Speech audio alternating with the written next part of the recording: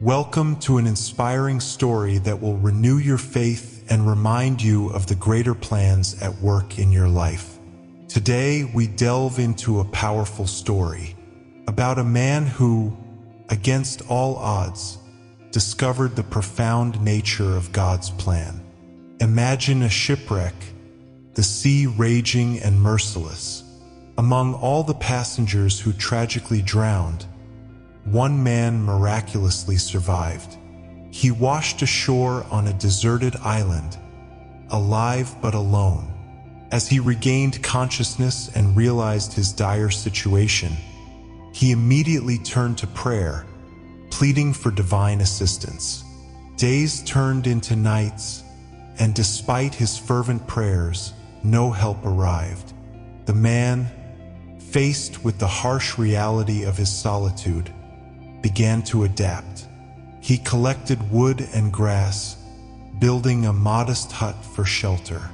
Scavenging what he could from the remnants of the ship, he eked out an existence, living on coconuts and fish. Each day, he prayed for rescue, yet no ship appeared on the horizon. One fateful day, while preparing food, he noticed smoke.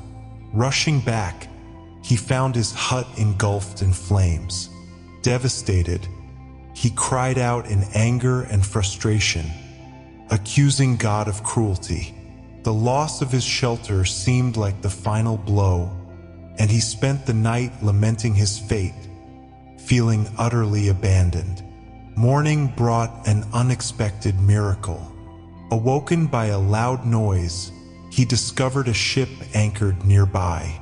Rescue had come at last.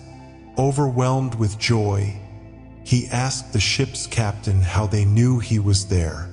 The captain explained they had seen a fire signal from the island, a beacon of distress. The man was bewildered. He had not sent any signal. Then it hit him uh, the fire that destroyed his hut was the very signal that led to his salvation.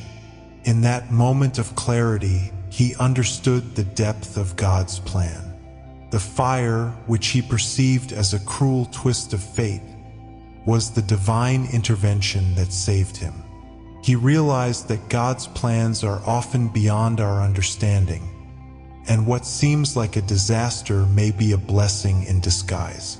This story is a profound reminder that in our lives, we often make plans and face unexpected challenges.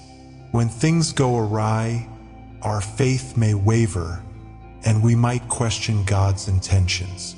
Yet, it's during these times that we must hold steadfast in our belief. Our limited perspective can make it hard to see the bigger picture, but God's plan for each of us is intricate and purposeful. In a world of over 7 billion people, each of us has a unique purpose. When our plans falter, it's crucial to remember that God may have something greater in store. Our perseverance, combined with divine guidance, can lead us through any adversity. So, whenever you feel like your plans are crumbling and everything is against you, remember this story. Trust that God's plan is always grander, more profound, and ultimately for your greater good.